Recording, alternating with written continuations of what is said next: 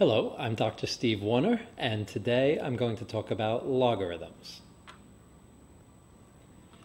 The word logarithm just means exponent. For example, in the exponential equation, 8 equals 2 to the third power, the logarithm is 3. Again, the logarithm is just the exponent the power. It's 3. The number 2 in that expression is called the base. That equation can be read 3 is the logarithm of 8 when we use a base of 2. 3 is the logarithm of 8 when we use a base of 2. So in logarithmic form, the logarithm, or the exponent, goes by itself. The base goes as a subscript, and the other number, the 8, is inside of the logarithm. More generally, these two equations are equivalent. y equals a to the x is the exponential form of the equation. And the equivalent logarithmic form is x equals log base a of y. Notice in the logarithmic form that the exponent, x, is by itself, and the base, a, is a subscript.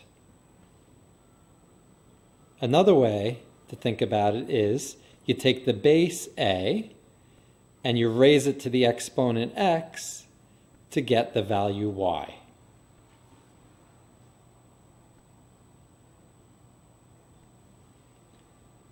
Let's look at an example. Express 1 25th equals 5 to the minus 2 in logarithmic form. Well, the logarithm, or the exponent, is negative 2. That goes by itself in logarithmic form log. The base is 5, and the number that's left is 125th.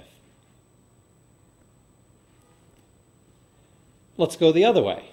Let's express 1 half equals log base 4 of 2 in exponential form.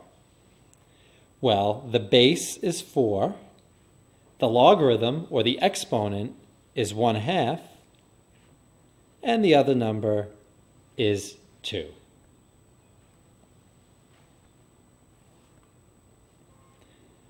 What is the value of log base 4 of 64? Okay, so let's just change that to an equation. y equals log base 4 of 64. And now let's change from logarithmic form to exponential form. We take the base and raise it to the exponent. The base is 4, the logarithm or exponent is y, and we set that equal to 64. Okay, now we just use some facts about exponential equations to finish solving this. 4 and 64 have a common base of 4. We can rewrite 64 as 4 to the third power. Now, since the bases are the same, so are the exponents. So the answer is that log base 4 of 64 is equal to 3, choice A. Let's quickly go over some basic laws of logarithms. So first we have log base b of 1 is equal to 0. This follows from the fact that the base b to the exponent of 0 is 1. Anything to the 0 power is 1. Log base b of b equals 1 because b to the 1 is equal to b.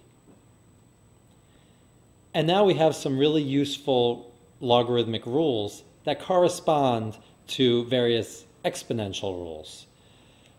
When you add two separate logarithms with the same base, you can rewrite that as a single logarithm and a product inside. The difference of two logarithms becomes a quotient. And when you have log base b of x to the n, you could bring the exponent out in front to get n log base b of x. Okay, let's look at a couple of examples. In the equation log base 4 of 2 plus log base 4 of 8 equals log base 6 of x squared, what is the positive real value of x? Well, we could use a rule of logarithms to combine the two logarithms on the left-hand side of the equation as log base 4 of 16. Notice that I'm multiplying 2 and 8 together because the sum of two logarithms is the product under a single logarithm. Now, what is log base 4 of 16? Well, the question is 4 to what power is 16? Well, 4 squared is 16. So we have log base 4 of 16 is equal to 2.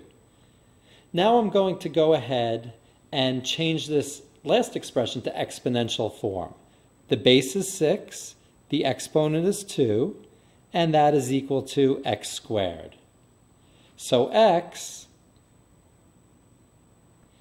is actually equal to plus or minus 6, but we're being asked for the positive real value of x. So we just take 6, choice A.